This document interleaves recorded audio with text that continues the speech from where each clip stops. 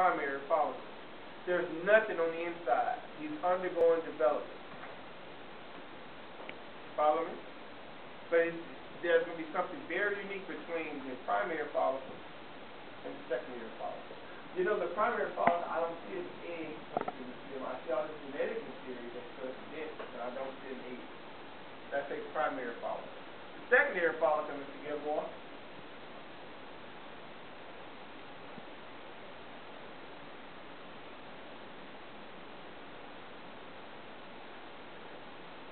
like him. If you look on page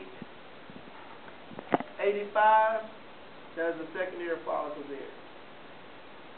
Right where it says primary follicle, you see secondary follicle below it. Why, Mr. Gilmore? I can notice there's an egg right here, and then the rest of we're going to talk about. Because the rest, there's a bridge that hasn't developed. That's how we're going to say what? Secondary follicle. Follow me?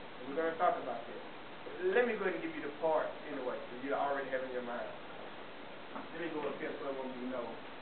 Yeah. If you look right here, you see this little line right here? That's the actual food site itself. Then you're going to see this pink line going around it. That's what we're going to be calling the zona pellucida. Then you're going to see a ring of sales. That's what you're going to call the corona radialis. Then you're going to look for a bridge that's in